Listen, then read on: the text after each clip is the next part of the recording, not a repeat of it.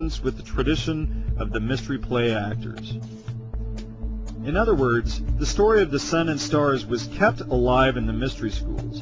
One of the characters was Moses, and he represented the ram of Aries by showing him with ram's horns on his head. This filtered down into religious traditions by showing Moses with horns on his head or his followers blowing the ram's horn in worship. This is not some form of devil worship. It is symbolic of the age of Aries. The previous age was Taurus, the bull. This is the bull, or rather the age, which the Moses character was leading his people away from. This age of the ram ended with the slaughter of the ram when Father Abraham, the father of Christianity, slaughtered a ram instead of his son. Just as Mithra kills the bull to usher in the age of the ram, Abraham kills the ram of Aries to usher in the next age, the age of Pisces. Jesus takes us out of the age of Aries into the age of Pisces. And what was his first miracle? He turns regular water into wine and feeds the masses with two fish. These represent the two fish of Pisces. Jesus was the fisher of men. Christians today often put a fish symbol on the back of their car or on their clothes. The Pope's mitre is a fish head, looking exactly like the fish heads, representing the age of Pisces, the age of Christianity, the age of the fish. So even the clergy reflect this age. But the symbol, the symbol of the fish comes from the Vesica, the Vesica Piscis or the Vesica Pisces. And the Vesica is a symbol of the spiritual portal which emerges from the harmonious balance of two complementary polarities. Intuition and intellect, knowledge and practice, yin and yang, heaven and the earth, spirit and science. It's two complementary polarities that create this this spiritual portal. If you consider its shape, it is a spiritual portal. It is the shape of the yoni. We must have this spiritual portal in order to exist. The only way for us to enter into this dimension is through this portal, which emerges from the harmonious balance of two complementary polarities, male and female, as we enter into this dimension through this spiritual portal. Our Lady of Guadalupe is often seen standing inside this symbol of the Vesica.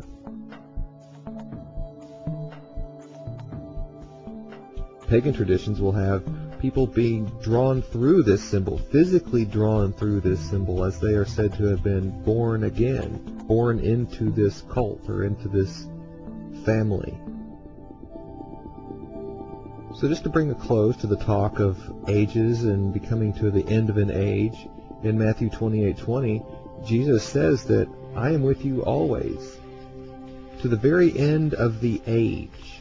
So when the age ends, I'm with you always to the end of the age. So there is an age to come. Luke tells us that there is an age to come.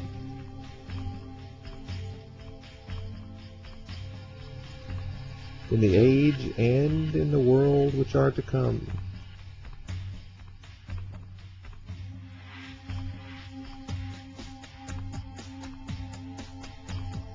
So if, if Jesus is with us until the end of the age, and this age is about to end, is this reflected in the Bible? And it is as Jesus is about to be crucified, the end of Jesus in the Bible, as Jesus is about to be crucified, he is going to have his last meal or the Last Supper.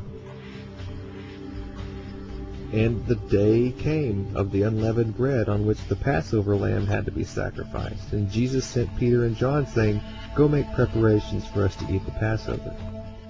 This is the Last Supper.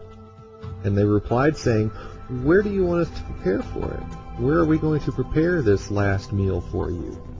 And Jesus said to them, Behold, when you enter into the city, a man shall meet you bearing a pitcher of water. Follow him into the house that he entereth in. And symbolically, this is stating you will recognize the new age by a man bearing a pitcher of water, and you will follow him into the house.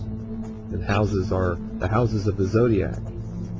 So this house is represented by a man bearing a pitcher of water, and that's exactly what the age of Aquarius is, is the man with the water pitcher. You don't see men in history bearing water, you see the woman fetching the water, the woman at the well, the women with the water pot on their head. So a man carrying the water pot is symbolic. It's symbolic of perhaps a return, a slow return to egalitarianism. Abraham was going to stab his son, but instead he ends up stabbing the ram. Just as Mithra was stabbing the bull when Jesus was stabbed on the cross. When Jesus was stabbed on the cross, his blood was collected in a cup. This cup has been a long sought after treasure for many people all throughout the ages. And we're going to talk about this cup. We're going to talk about the body and the blood now. And this is a good segue into communion where Christians will participate in a ritual, a, a blood drinking ritual, a mock blood drinking and flesh eating ritual.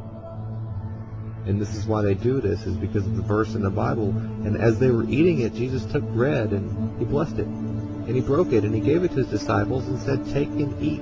This is my body. And he took a cup and when he had given thanks, he gave it to them and said, Drink of it, all of you. For this is my blood of the covenant, which is poured out for many for the forgiveness of sins.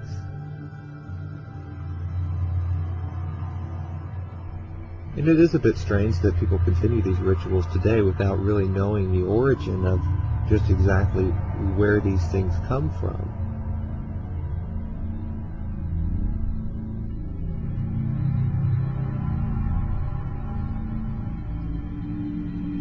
This can cross the line into offensive territory, but this is forewarned in the Bible because the Jews began to argue sharply amongst themselves, saying, How can this man give us his flesh to eat? And Jesus said to them, I tell you the truth, unless you eat the flesh of the Son of Man and drink his blood, you have no life in you. Whoever eats my flesh and drinks my blood has eternal life, and I will raise him up on the last day. For my flesh is real food, and my blood is real drink. Whoever eats my flesh and drinks my blood remains in me, and I in him. And upon hearing this, many of his disciples said, This is a hard teaching. Who can accept it? And aware that his disciples were grumbling about this, Jesus said to them, Does this offend you? The physical body and the blood part. That's the symbolic part. But before we can get into this, we need to understand the Dead Sea Scrolls.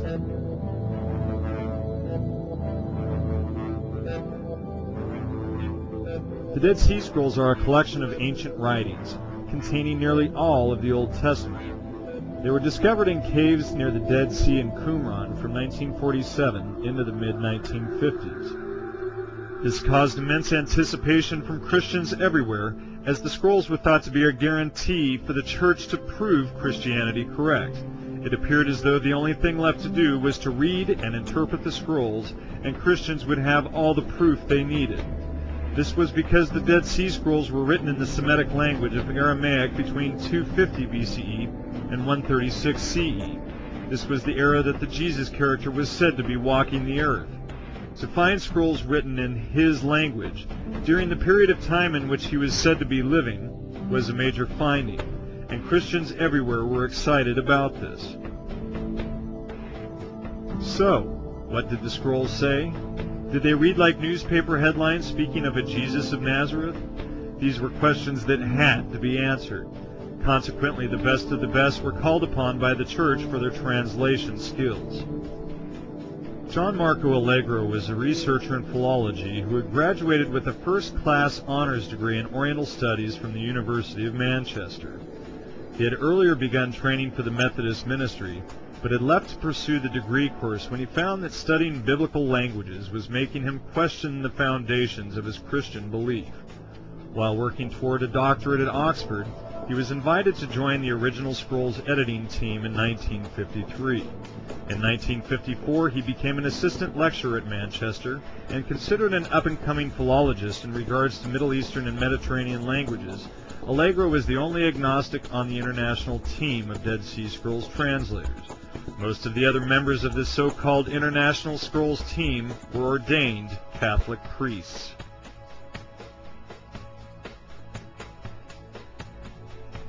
The work of this team, which was organized by Father de Vaux, was originally supposed to be published as soon as possible and open to scholarly interpretation.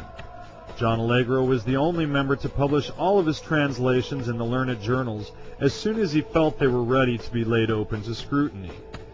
The other members of the team tended to hold on to their allocations for so long that some people, including Allegro from time to time, suspected a cover-up and suppression of the research. In fact, Allegro was asked several times to hold back on some of his translations for several years or face retribution. He sometimes unwillingly complied. If not a cover-up, an unwillingness to tell all, all at once. There always was a feeling that if we go carefully, we can release the information in a way that need generate no hostility or over-questioning. But we will do, we will control it. By 1968, Allegro completed and published all of his translations of the Cave 4 scroll fragments assigned to him. In the 15 years since the international team was put together in 1953, Allegro was the only member to finish his assigned duty. The remaining scrolls were not published until 1991, when the Huntington Library in San Marino, California finally released the photographs of all the scrolls to expedite their publication.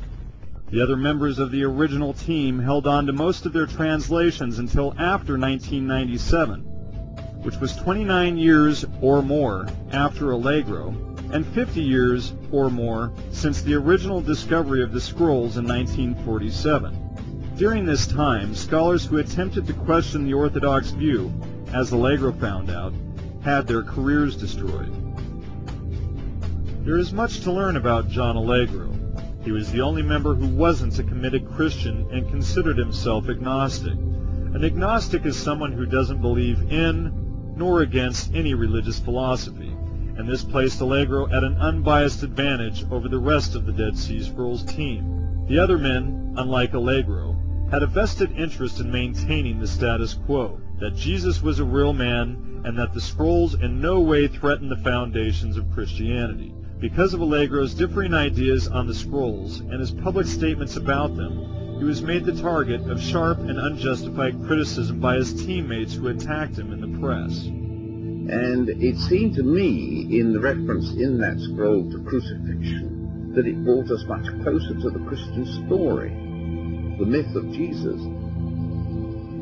And then when I published this, there was such an outburst, uproar, not least among my colleagues, who were afraid of the fear that it would upset people that Jesus wasn't the first prophet to have been crucified or something. Uh, no more than that. The, the, the, the, links between Jesus and the the leader of the Essenes were much closer, or could have been much closer than that had been realized that the uniqueness of the Christian story was was at risk, that they then wrote a letter to the Times, and I realized then I'd walked into a minefield.